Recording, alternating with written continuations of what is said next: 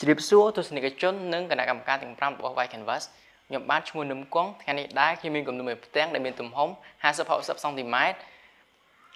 បច្ចេកទេសអាក្រិលិកនៅលើក្រដាសដែលមានចំណងជើងថាគម្លាតមនុស្សម្នាក់ម្នាក់តែងតែរស់នៅដោយការប្រស្រ័យទាក់ទងគ្នាមិនអាចខ្វះបានប៉ុន្តែការប្រស្រ័យទាក់ទងគ្នាទៅវិញទៅមករបស់មនុស្សម្នាក់ម្នាក់មិនដូចគ្នាទេវាអាស្រ័យលើភាពចុះសម្រុងនិងភាពស្និទ្ធស្នាល ជាក់ស្ដែងយើងរលេខទៅមើលស្នាដៃមួយផ្ទាំងនេះដែលឆ្លុះបញ្ចាំងពីរឿងពិតរបស់ក្មេងប្រុសម្នាក់ដែលកើតឡើងក្នុងពេលបច្ចុប្បន្នគាត់កាត់ចេញពីគ្រួសារតូចមួយដែលមានទាំងឪពុកនិងម្ដាយគ្រួសាររបស់គាត់មើលទៅពោពេញដោយភាពកក់ក្ដៅប៉ុន្តែរឿងខាងក្រោយនៃគ្រួសាររបស់គាត់វិញគឺហាក់បីដូចជាមិនសូវមានភាពស្និទ្ធស្នាលសោះមិនមែនមានន័យថាទំនាក់ទំនងរវាងឪពុកម្ដាយនិងកូនសុទ្ធតែមានភាពស្និទ្ធស្នាលដោយដែលយើងបានគិតឡើយ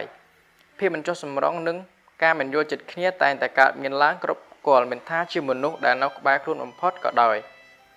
ដោយក្នុងរូបនេះអញ្ចឹងក្មេងប្រុសម្នាក់មិនមានភាពស្និទ្ធស្នាលជាមួយឪពុកដូចនេះទំនាក់ទំនងនៃការប្រស្រ័យទាក់ទងគ្នារវាងគាត់ជាមួយនឹងឪពុកគឺត្រូវឆ្លងកាត់តាមរយៈម្ដាយ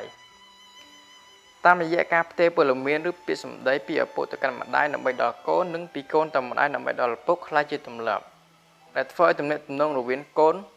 ម្នាក់នោះជាមួយនឹងឪពុកមានគម្លាត ជាស្ដែងគឺមានតែការផ្ដាំផ្ញើតាមរយៈ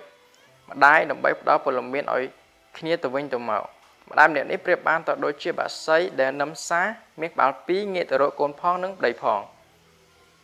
បញ្ហាទាំងនេះបណ្ដាលមកពីការមិនចុះសម្រុងគ្នា និងមិនយល់ចិត្តគ្នា ការមិនមានភាពស្និទ្ធស្នាលរវាងកូននិងឪពុកឬកូនជាមួយម្ដាយ ជាចុងក្រោយខ្ញុំសូមអរគុណដល់កម្មវិធី Vai Canvas ដែលបានបង្កើតកម្មវិធីនេះឡើងដើម្បីឲ្យពួកខ្ញុំនិងអ្នកឯទៀតបានបង្កើតស្នាដៃឡើងសូមអរគុណ